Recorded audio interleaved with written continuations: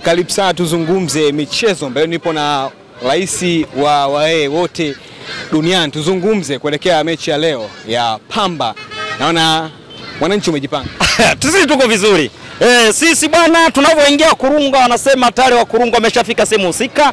Kama sisi mnavyotujua sisi sisi ndio mabingwa watetezi wa makombe haya yote mawili, yaani ligi kuu pamoja na FA. Kwa hiyo sasa wanavyocheza wale wengine wengine utasikia washiriki, washiriki kwenye ligi kuu wanacheza, kama ni FA utasikia washiriki kwenye FA wanacheza, ila tunavyocheza sisi tutasikia mabingwa watetezi wanakwenda kutetea taji lao. Kwa hiyo leo kwa mara nyingine mechi yetu ya nne tunashuka tena Chamanzi kuja kumenyana na Pamba anayepiga kelele hapa mjini, anasema mimi namfananisha na mfu aliokufa. Sasa yule, yule mfu anasema anakuja kufufukia kwetu sisi, anasema kama alikuwa apigi chafya kwenye jeneza, anasema anakuja kupiga chafya mbele yetu. Sasa huyu Pamba nimwambie E, kuelekea kutoka saa kumi na mbili na nusu mpaka saa mbili kama na roborobo hivi, basi habari ya mjini ya, itasema Yanga ya Azama vitu ziki vingine. yani huyu Pamba nisipomlaga jua leo saba bwana, sijui mimi Watu wanasema mnacheza na, na mdogo wenu GSM. na unasemaje? Mnacheza na mdogo wenu. Mimi nakumbuka kama akili zangu hazijapotea, mimi nakumbuka kwenye ligi kuu ya misimu iliyopita kulikuwa kuna mdogo wangu mmoja tu ambao ni nani, Toto Africa, kwa sababu hata Toto Africa wenyewe ukiangalia hii inaitwa Young African, maana yake ni toto watoto wa Afrika. Sasa wale wanaitwa Toto Africa ni watoto wa Afrika, unaona eh? Sasa wale hata jezi zilikuwa zinaendana, ukiniambia Toto Africa kweli ni mtoto wangu kweli, lakini hawa wengine wengine hawa hawa nao wanakuja kukamata labda nafasi ya tatu, ya nne, ya tano, ya sita, ile nafasi ya moja mwanaume mwanaume yupo eh, mwe- mwenye mwenye hadhi yake. Kwa hiyo ukimsikia mtu anasema tunakuja kucheza na watoto wa GSM, sasa wakati matokeo yametoka, tukimbagajia goli tatu, utasikia si watoto zao. Sasa mimi na mimi nitakuwa namuuliza, anasema si mnaona watoto zao, na sisi tutakuwa tunarudishia jibu, kwa nini kubutua tano, na wewe ni mtoto wetu pia. Mimi kwenye ligi sina mtoto. Lakini watu wanasema kwamba masuala ya kupiga watu 5G yameshakwisha, wanaita watu wa kimokochani. Kwanza ndugu zanguni, unajua Yanga bana, kweli Yanga ni kubwa. Unajua, unajua Tanzania hii Yanga ikishinda goli nyingi inazungumziwa, inasema wanasema wanapiga vibonde, ila tukishinda goli moja au mbili utasikia Yanga ime, ime, imeishiwa pumzi. Sasa tuliwacha watoto wa Mudi wapige pige kwenye mechi dhidi ya Ken Gold, tulishinda moja kule, tukaja hapa tukashinda dhidi ya wale nani nani nani hawa Ken nani hawa tume, tume KMC aka wana Kino Boys wa kusanya mapato. Mwisho wa siku zikaja taarifa nasema Yanga imeishiwa. Sasa toto la Mudi mkumbukeni, Mererere ni naye huko tarehe kumi na tisa tuna siku kama kadhaa kadhaa hivi. Sasa kwa sababu ningewapelekea kifuru fumbi za goli sita sita zile kama kawaida, toto la Mudi lingekuja kwa kujihami mnamo tarehe kumi na tisa. Sasa kwa sababu limepiga sana kelele, sasa acha nirudishe mzuka wangu ule ule wa goli goli saba saba sita sita ili toto la Mudi nilipe onyo kwamba tarehe kumi na tisa eh, chonde chonde uje kwa wange wangu, kwa sababu ukiangalia toto la Mudi linapiga kelele linasema tunapiga vibonde. Sasa leo huu mwezi wa ngapi? mwezi wa kumi huu eh, tuna eh, huu mwezi wa kumi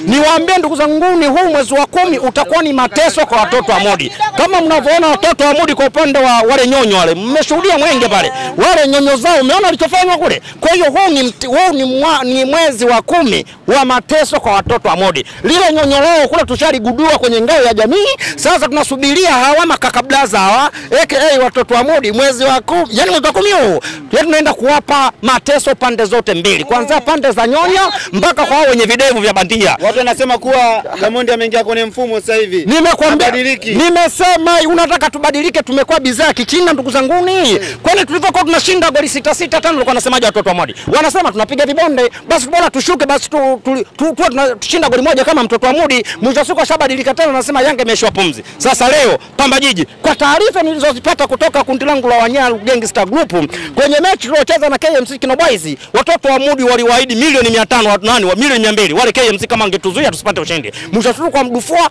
yani nikapiga paka mbele funga nikamwambia, nenda kamwambia hiyo shoga yako aliyokutuma kwamba tutakugaragaza. Sasa leo huyu naye Pamba, nimepata taarifa kutoka kwa Nyaru Gangster Group kwamba kila goli moja wale Pamba. Sasa sijajua kama ni mabosi wao kweli Pamba wamewaahidi kila goli moja milioni 500. Alafu kwa yule mche- nime taarifa zao tunazo sisi. Alafu mchezaji kwao sasa, mchezaji atakaye kwenda kupata goli la ushindi kwa upande wao atazaidiwa atazawadiwa milioni milioni moja. Kwa hiyo taarifa zao tunazo, tumemsikia hata George Mpole analozoka jana, anamwenzia shoga yake yule, anasema anakuja kufufukia kwetu. Hii maiti haiwezi kuja kupigia chafa, tunakwenda kuizika moja kwa moja. Mzee mtani yuko nafasi ya tatu, wewe uko nafasi ya nne. Mtani akikutana na Kosti anakuwa nafasi ya kwanza. Unaweza kumpindua Pamba Jiji wewe? Kwanza unavyo kwanza una, itakuwa unyoosho unaposema kesho anakutana dhidi ya Kosti. yani hapo umekosea. Sema kesho anakutana mtu na dada yake, kwa sababu unavyosema mtu na dada yake, yani kesho anakwenda kukutana Asha na Ashura, kwa sababu ukiangalia hata jezi, jamani, lazima uangalie mara mbili mbili, labda uangalie vilogo vile, ndio utajua hala, kumbe hawa Kosti hawa watoto wa Mudi, kwa sababu jezi Kosti nini nyekundu anayo, eh, nye- nyeupe anayo, na watoto wa Mudi nyeupe anayo na nyekundu anayo. Kwa wale usipoangalia vile vilogo vyao, yule Kosti na kimbwea, toto la Mudi lina nani Simba, ingawa Simba ile sasa hivi Mohamed alipokuwa mlafi kala mapupu bandama mafigo imebakia bichwa. Kwa hiyo sasa kesho msipoangalia vizuri vizuri, yani huwezi kufanania, huwezi kumjua cost yupi toto la Mudi lipi. Kwa hiyo kesho anakutana Asha na Ashura. Kwa kesho ni mchekea. Ah, kesho bwana wanakutana pipa na mfuniko shamba la bwana Eli mbuza bwana Eli. Na unajua Tanzania hii ndio maana nimekwambia sina mtoto lakini toto la Mudi na watoto zake kama Azam.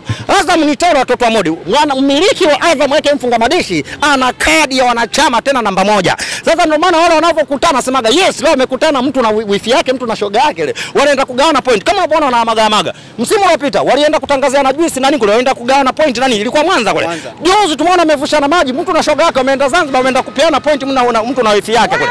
Migori ya migori yote ya offside, lakini yule kwa sababu ni wifi yake kamgea. As- as- Asiyejua kama Azam FC na watoto wa Modi, mtu na wifi yake nani? Kwa sababu ukiangalia huyu muuza energy, huyu muuza Azam energy, kuna tofauti hapo. Kwa hawa wanavyokutana pipa na mfuniko shamba la Bwana Eli. Mimi sina mtoto. Kwa hiyo bingwa mtetezi leo na Azam, huyu Pamba Jiji mtakuja kumwonea bali. Na, na, na natoa angalizo jamani, waandishi wa habari. Msije nyinyi tumesema tumekata ringi. Eh, wakati na dufua dufua tano sita tano sita mlikuwa mnasema tunapiga vibonde. Sasa kuelekea mechi hii baada ya kumkunyuta saba tena ikiwezekana mpaka nane, msije tukakutana tena baadaye pale mkaanza kubadilisha mnasema oh, mmepiga vibonde. Ah, hatutaki. Eh, hey, tunatoa angalizo mapema kabisa. Leo nakwenda kushusha squad yangu bila winome lile lile bila kifuru fumbe. Leo saba na migori hii saba kwamba namdufua huyu naingia mafichoni tunaipisha timu ya taifa. Nikirudi sasa mama manina sozo bunduki lungu panga mtoto wa Mudi huyu hapa. Tarehe kumi na tisa mtoto wa Mudi akia Mungu yule kocha akaendelea kubaki kwa watoto wa Mudi baada ya kumkunguta